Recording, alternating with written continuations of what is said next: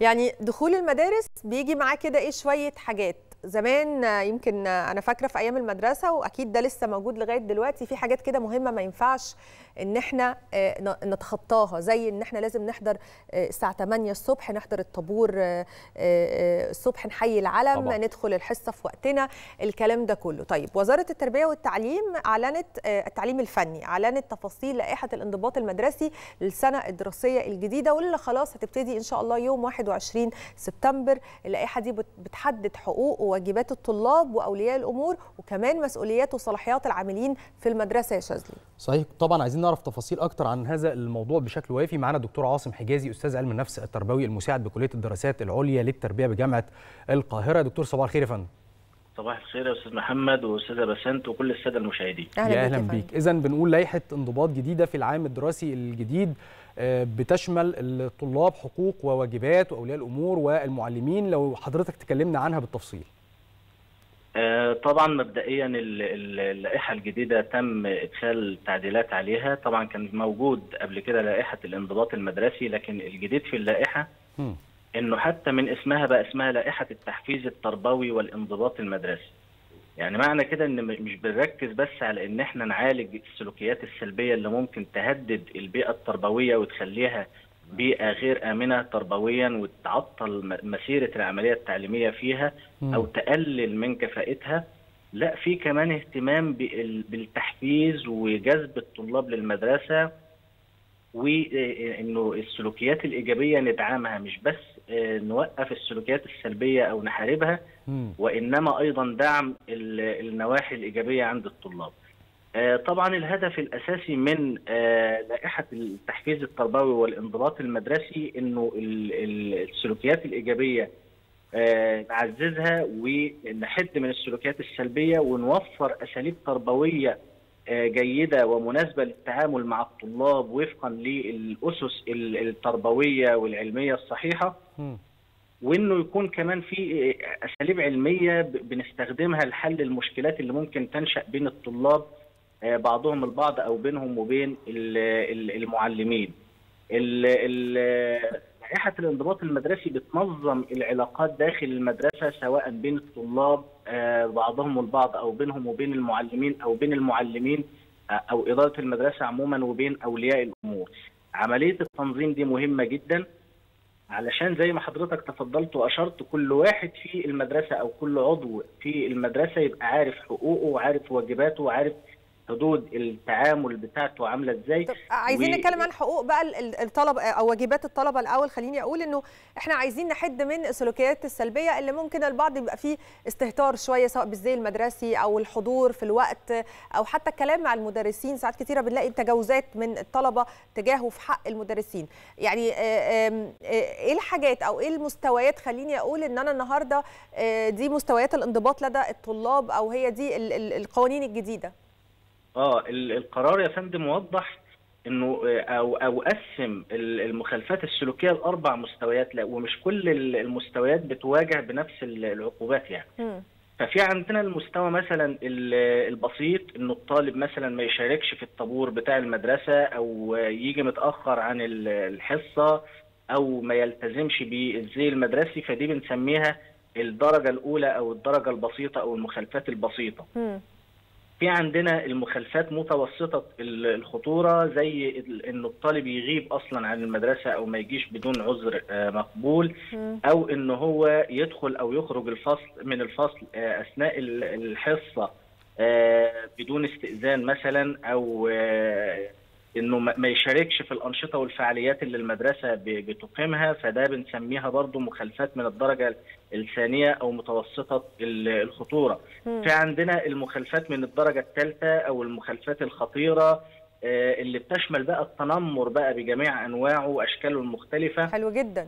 واللي منها الغش والشروع في الغش ودي طبعا من المشاكل اللي بتصنف بإن هي خطيرة وفقا للائحه الانضباط المدرسي الجديدة. م. في عندنا بقى طبعا شديدة الخطورة دي بقى اللي بيبقى فيها آه يعني آه شق جنائي بقى انه إنه حد مثلا آه يضرب زميله بطريقة مؤذية مثلا ودي بيبقى فيها تدخل جنائي وقانوني خارج إطار المدرسة كمان يعني. طب إحنا كل درجة بيترتب عليها إيه؟ يعني اللي بيخالف اللي ما بيجيش الطابور بي بيحضر متأخر الزي المدرسي بيخالفه. ده بيترتب آه. عليه إيه؟ والثانيه والثالثه والرابعة؟ العقوبات بقى يا فندم العقوبات بتبقى متدرجة وكمان مش صلاحيات العقوبات مش متروكة كلها للمعلم. في عقوبات بيطبقها المعلم أو المشرف وفي عقوبات اللي بتبقى أصعب شوية بيطبقها مدير المدرسة واللي بتبقى أصعب كمان بتطبقها لجنة الحماية المدرسية مم. ال- بتبدأ بقى العقوبات من التنبيه الشفوي اولا يعني حسب برضو درجة ال- ال- الخطورة للمخالفة وتكرارها يعني إذا تكررت المخالفة بتكون العقوبة أشد. فبتبدأ بالتنبيه الشفوي ثم التنبيه ال- الكتابي وإن إحنا نكلف الطالب بإن هو يعمل آه، أو يقوم بأداء مهام مدرسية إضافية بعد انتهاء اليوم الدراسي أو إن هو يقوم بأداء مهام وأعمال آه، آه، أخرى يكلف بيها كنوع من ال- ال- ال- الإلزام يعني علشان إن هو قام بعمل سلوك خاطئ. كنوع من العقاب منها خصم درجات في من من العقوبات خصم درجات طبعا من من الطالب بعض أو كل الدرجات في في في مادة أو أكتر وفي إن إحنا نحول الطالب بقى للأخصائي الاجتماعي وإن إحنا نستدعي ولي الأمر وفي. فصل مؤقت من المدرسة لمدة آه، أسبوع وفي لمدة أسبوعين وفي لحد نهاية الفصل الدراسي آه، كاملا يعني في فصل لحد نهاية ال- ال- ال- الفصل الدراسي وفي فصل لمدة عام دراسي وفيه إن هو ينقل من المدرسة. يعني العقوبات متدرجة. بتبدا زي ما قلنا كده بال- الدرجات. التنبيه الشفوي وتنتهي بالنقل تماما من المدرسة وفي وتحويل الطالب لنظام الدراسة من الخارج. الدكتور قلنا في حقوق وفي واجبات. إحنا اتكلمنا في الواجبات. طيب الطالب هيحصل على إيه بقى مقابل الالتزام بكل هذه الواجبات؟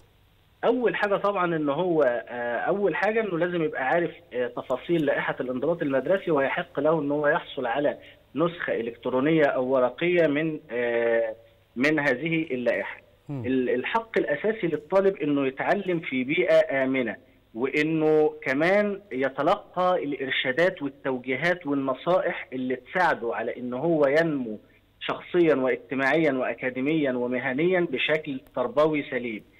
آه، ال- ال- التحفيز اللي المدرسة آه، بتقدمه للطالب بيبقى من خلال الأنشطة ومن خلال تقديم تعليم جيد ومن خلال التعاون التام من قبل السادة المعلمين في توصيل المعلومة للطالب وإنه من حق الطالب إن هو يسأل وإن هو يجاب على أسئلته بطريقة آه، تناسب قدراته إن هو يتعلم بشكل جيد وإنه يكون في شفافية وإنه يكون في موضوعية في التقييم. كل هذه الحقوق بتضمنها وزارة التربية والتعليم من خلال أنشطة متعددة بتقوم بيها داخل ال- المدرسة وزي ما في آه، يعني آه، عقوبات للطالب اللي هو آه، بيحصل منه أو بيصدر منه سلوكيات سلبية كذلك في للمعلم اللي آه، بيتقاعس عن أداء دوره.